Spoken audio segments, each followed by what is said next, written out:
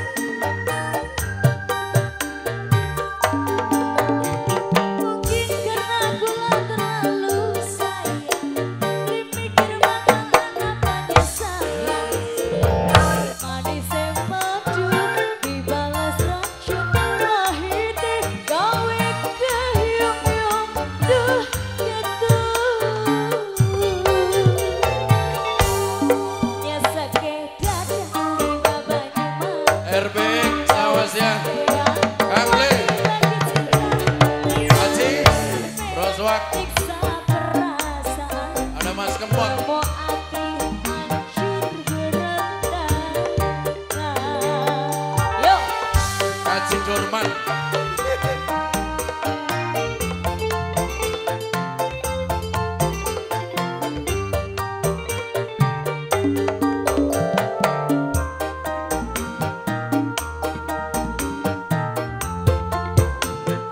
Ada padat kopres.